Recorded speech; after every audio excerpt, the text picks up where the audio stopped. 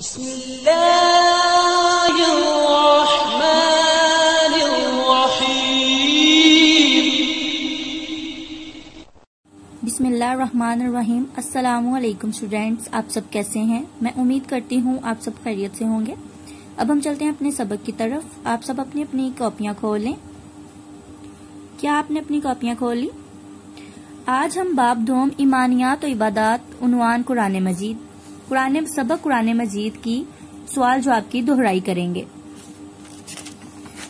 सबसे पहले है सवाल नंबर एक, कुरान मजीद कितने अरसे में नाजिल हुआ? प्यारे बच्चों, ये हमने रीडिंग में भी पढ़ा था और ये सवाल आप पहले याद कर चुके हैं। तो कुरान मजीद कितने अरसे में नाजिल हुआ? कुरान मजीद तेईस साल के अरसे में नाजिल हुआ। कितने अरसे में? तेईस साल के अरसे में। सवाल दो, कुरान मजीद में कितने पारे हैं? प्यारे बच्चों, कुरान मजीद में कितने पारे हैं?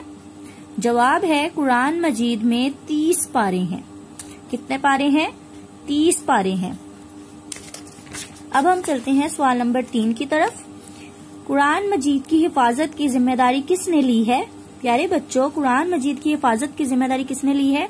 जवाब है, कुरान मजीद की हिफाजत की ज़िम्मेदारी अल्लाह ताला ने ली है। किसने ली है? अल्लाह ताला ने। सवाल नंबर चार क्या कुरान मजीद के बाद कोई किताब नाजिल होगी?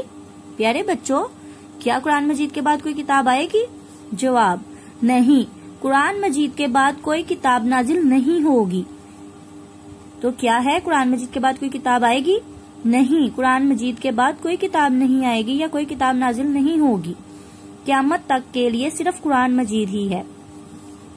तो प्यारे बच्चों, आप लोगों ने इन सवालों को दोबारा से याद करना है, क्योंकि आप इन सवालों को पहले याद कर चुके हैं। अब हम इसकी सिर्फ़ दोहराई कर रहे हैं। तो आप लोगों ने जिन बच्चों ने इनको याद नहीं किया, वो दोबारा से याद कर लें और इनकी दोहराई करें। अब हम इनशाला अपने अगले सबक के साथ मिलेंगे। तब तक के लिए अल्लाह हाफिज।